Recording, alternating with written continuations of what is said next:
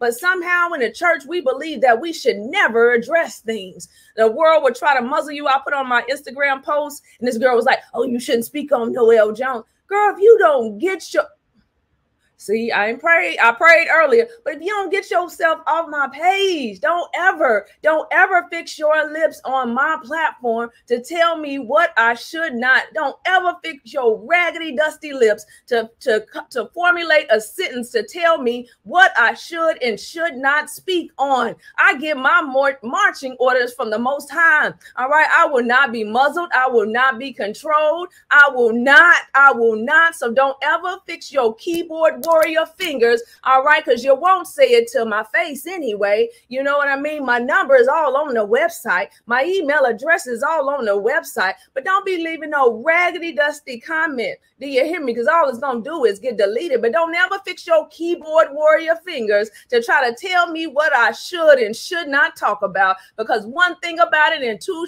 things for sure, I'm going to do what my father has told me to do it in a tasteful way. It won't be disgraceful. It will be done in excellence in all that I do. So if you ever think that I'm going to sit up here and talk about somebody uh, besides you keyboard warriors, uh, a man or woman of God in a disrespectful manner, I won't do that to you. So as long as you come at me right, won't start, none won't be none.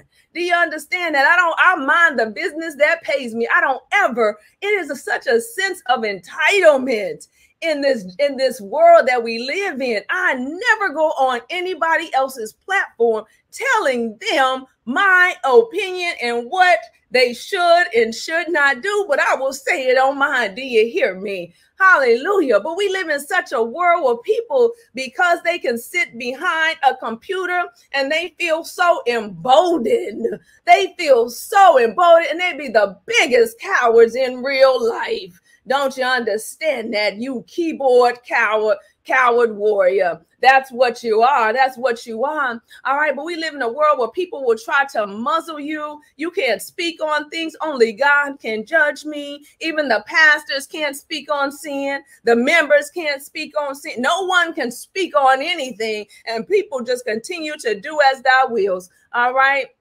we live in a society, even in the four wall church, they want to coddle, pretend, sweep things under the rug, turn a blind eye, hush your mouth, see no evil, hear no evil, say no evil, and you are going to be judged for enabling. All right. So I repent for enabling people. I repent for not speaking up. I repent against that Ahab spirit. Uh, baby girl, baby girl was in my comments. You got the right one today. You got the right one, baby. Do you understand me? First Thessalonians 5 and 22 says, abstain from all appearance as evil, and the very God of peace sanctify you wholly. And I pray your, I pray God, your whole spirit and your soul and your body be preserved blameless until the coming of our Lord Jesus Christ. Faithful is he that calleth you and who will also do it. So we are to abstain from the very appearance as evil. That's why a lot of times I don't speak to men a lot of times. All right. And if I do, my husband knows about it. Do you understand me? Because I try to abstain. I'm not perfect. No, nobody's perfect, Bishop Noel. Nobody is perfect. None of us are perfect, but that is not an excuse.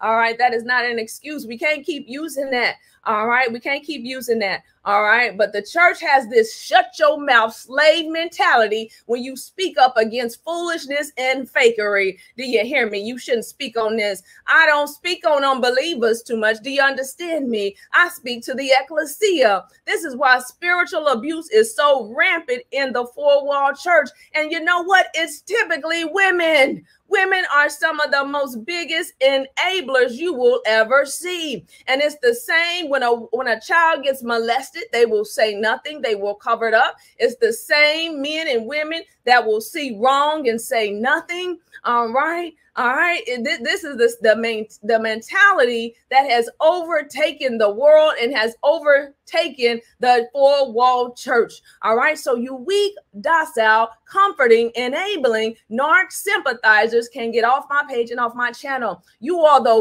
weakest link. Goodbye. Do you hear me? Goodbye.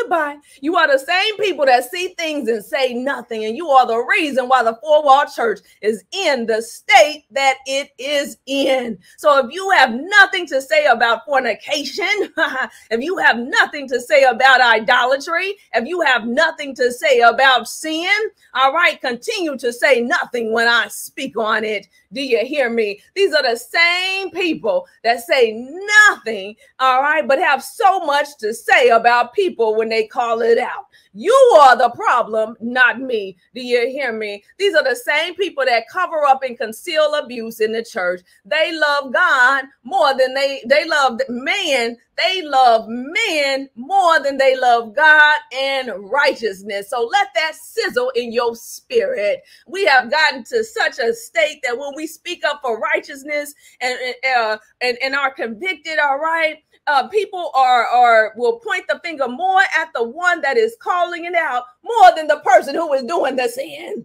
Make that make sense. Make